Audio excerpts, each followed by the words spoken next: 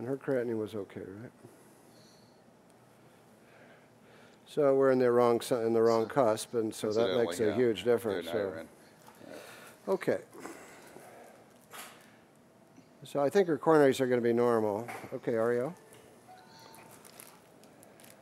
So the other thing that's a little different, I think, in engaging the coronaries compared to what we used to do is, you know, you get very close to the coronaries from the wrist as opposed to in the old days from the Judkins approach, which is the Good, catheters okay. dangling out there, and you were very cautious about advancing into the left main.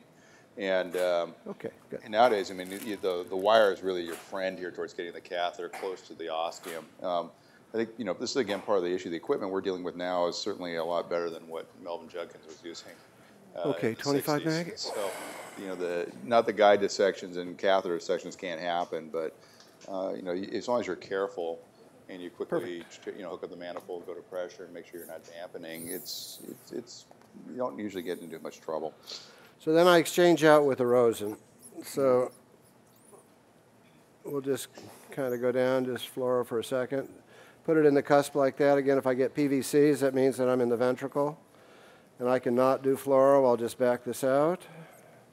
And having that opsite on there holds the sheath, so I'm not worried about that. And boom, boom, we got it. And we will be doing a V-gram, you guys.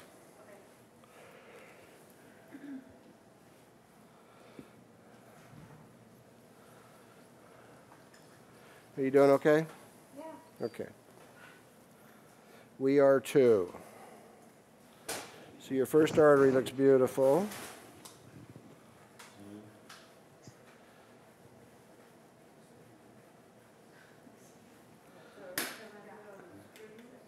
Uh huh.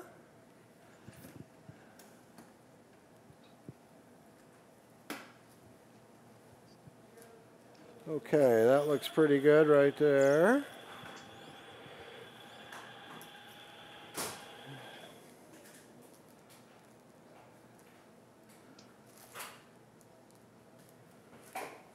So we're down just a little bit. We'll come back a little bit. There we are. We're going to be nice and axial. And beautiful arteries. Okay, RAO cranial.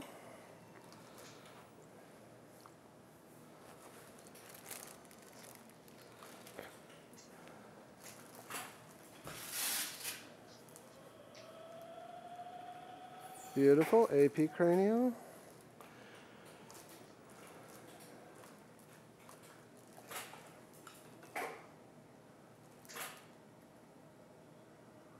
Stuff. LAO cranial.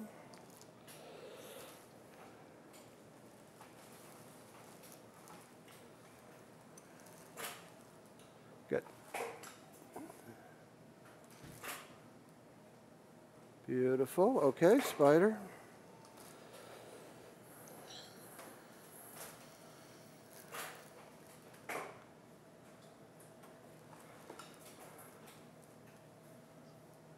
All right, nice. Okay, AP caudal.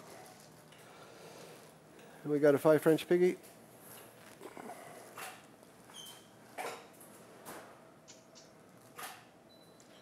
Big Nice Ramus. Try Marge, yep.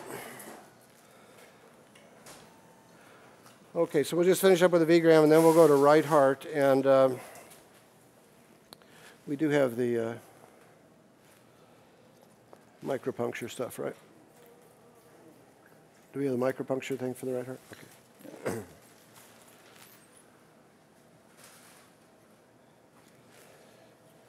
So going to be, you know, hard for him to do that, frankly, any faster from the groin. You know, the, the coronaries, mm-hmm. the triple coronaries and everything else.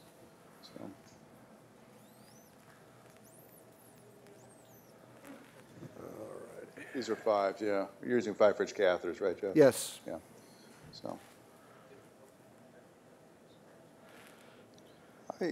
I, think the fives are, I find are not that big a deal. I mean, it's, I use fours usually. I even, I didn't use anything today, but typically for diagnostics, what I've been doing. That does take some getting used to. And, um, part of the issue is that you can jet the coronary out of the, the catheter out of the coronary by injecting too hard, so you have to learn how to control your injection a little bit. Um, but having been through a few cases where you do, you can get bad spasm, and when that happens, it's a bit frustrating because you can't move the catheter. And uh, so, you know, a smaller catheter will help you sort of avoid that situation. The typical people who get into spasm are really the uh, are, are um, uh, smaller people, and often that's women. It turns out. Uh, and so the uh, uh, there are ways around how to deal with that, but when it happens, it's frustrating enough and definitely slows things down. Okay, 3015, you guys. I don't know what is Marisa here?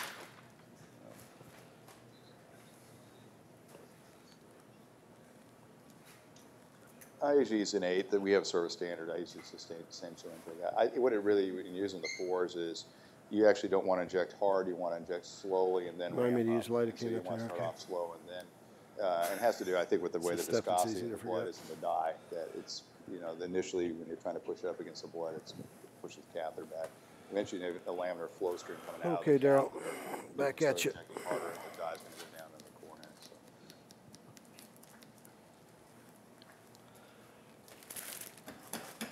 The one thing about the fours is that crossing the aortic valve is sort of the bane of your existence, and with the fives, there just seems to be a difference there. That's the one thing I've, I've learned. And so I, that's the one thing I often is, is We're gonna make you warm all over. Bear with me for just a sec, okay? You're gonna get warm. Okay, inject, please. Yes, it is.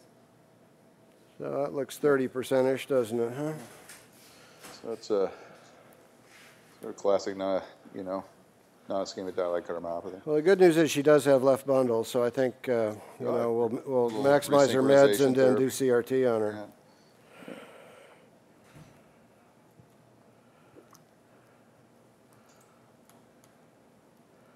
It's kind of interesting. I think she was first diagnosed having cardiomyopathy back in uh, 85, 90, something like that. Wow. And then got better and then got worse. Okay, so let's go with our Rosen. We'll pull this out and um, then we'll go uh, do the right. So with this wire, I can feel when I'm at the pig. I'm right at the pig right now, so I'll just pull it back over the wire a little bit, and then I can just pull it back. So that, again, saves a little bit of radiation. Right. And even then, if you're unsure, you just get one, one frame just to know where you are. You're not having to floor the whole time. All right, So- voila. So we've, we've already done a little you set up prepping the, here. uh, Describe how you set up the, uh, the arm there for the right heart there, Jeff, if you would. So we have an IV that's actually in the cephalic vein. Uh-huh. I- I'd rather it be in the basilic, but it's a better teaching thing, so we may have to navigate a little bit. So we put an IV in, we prepped it, we put a little cap on it, we put some opsite over here. And then we put a other brachial drape here, and I was able, to- it was really cool how she did it. And then, so we're able to just pull this down and we're ready to go. So I think what we've been doing lately is folding the brachial drape on top of itself, right? After, as the Yeah, second prep, Just right? fold it up this way, and then I can just pull it down and cover what I just Right, did. and then, and then it's, uh, then the other half of it is covered, and then you pull it back. So you can see this now. Now, the most important thing to do is what you're going to forget to do, and that is to numb it up again. Right. Right. And I know this woman, and she'd pop me one if I did that, so. Little mosquito bite here. Sorry. Oh, it's a little bit more. I know, I know. I used to be nice, huh? Okay, okay, so you got our wire from there. How come it's all bent? So this wire that comes with the micropuncture is nice because it's got a nice stiff member here. We're gonna, we're gonna put this in and then I'll take it out and we'll go in with an 035 wire. So we can't really put our seven French in, seven French sheath in under a, a flimsy wire because it just bends. It does, really doesn't work. So hopefully the IV is still in well. And that's good, and that's feeding nicely, so that's a good sign. So their wire goes in nicely, Okay. exactly. So yeah. we've got that. And then what I, what I would do here is actually would use one of the glide sheaths and just let, just slide it in over this. But he's gonna go with the seven French sheath because I guess you want to do thermal dilution, so. Um. Okay. So So the other that thing you goes nicely. Here at this point is give some nitroglycerin if you're gonna, gonna- if you want. Okay, 035 wire. I think this 035 actually is really important. I had several cases that kind of, the guide wire bent and it just wasn't satisfying. So we went back to this And now just a standard seven French sheath. Not a glide sheath or anything, just a standard seven French sheath. And sometimes we need to neck the skin a little bit. She's, she's fine. We'll make sure that we're not uh, So kinking the hep lock, yeah, anything. they basically completely repped it, uh, prepped it up with uh, uh, the beta. Okay. So, All right, that's good, guys. Just put a Yeah. little towel here, and we're ready for our Cap, was- catheter. cap is actually sterile when you open it though, right? So, Yeah, the cap was sterile. We put that on sterilely, so. Okay, so. So no balloon up until we're in the thorax. I'm just gonna, just feed this gently here, and we're probably gonna negotiate this with a little wire, but we'll see how it goes. Well, she just went well, so let's There take a peek. All right, so we're here, and now we'll go up with our balloon. And it'll be hard to keep it out of the pulmonary artery. Sometimes it wants to go into the atrial appendage, but that's about the only other place you can go. unless you go across an ASD.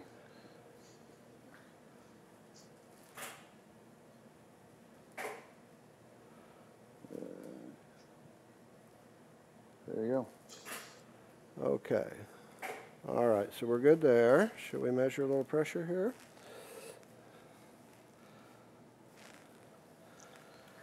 So no risk of AV fistulae or anything else that you could get by going in a femoral vein. Right. We certainly could do a, a, an ops, a um, SonoSite-guided uh, IJ, which is the standard way to do this. But this is just simple and. Okay, guys. All right, let's put a little filter on that. I want you to take a half a breath in and don't breathe. Stop breathing, stop breathing, stop breathing, stop breathing, stop breathing. Okay, you can breathe. Good, good, good. So she's pretty well tuned up.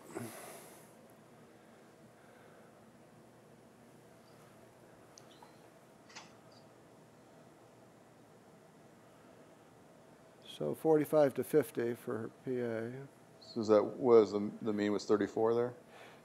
One more time. Take a half a breath in, blow it out, blow it out. Don't breathe, don't breathe, don't breathe, don't breathe, don't breathe. Okay, sweetie, that's fine. Good. Yeah. Okay, why don't you guys shoot some thermals? Okay, then do, do a right heart pullback and, um, and we're done. Okay, so well, you, the TR you guys don't need to see again or if- unless you want to. Do you want to see that again? Uh, we might as well do it one more time. Let's We do that gotcha. one more Yeah. time. We'll do that while they're uh, doing the thermals and stuff, okay? Okay. And what we may do is, um, are you coming back up here or? are you- Yeah. Okay. So what we may do is I'll give the talk uh, about the complications, then we'll do the, uh, the anticoagulation sort of roundtable thing up here, all right? All right, so let me, uh, I'll just go ahead and put a TR band on here, and then they're going to hold that with uh, just a little, uh, a little pad, a little hemostatic patch up there.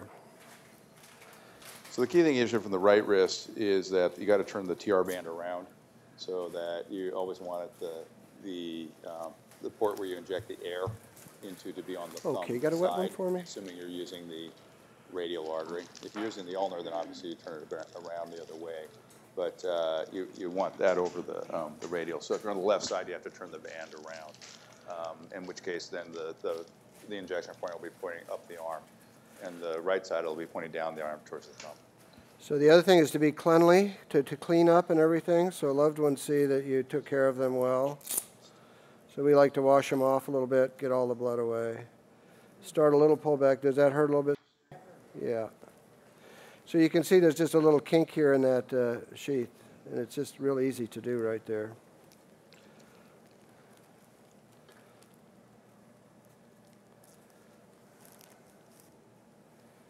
Okay, and 13 would be great as a start. That's perfect. Double check. So a little more ouch for just a second. We're all done with that, sweetie. So I do it a little different. I kind of feel distally for a pulse, and I can feel her pulse come in. So we've got 12 cc's, and we're done.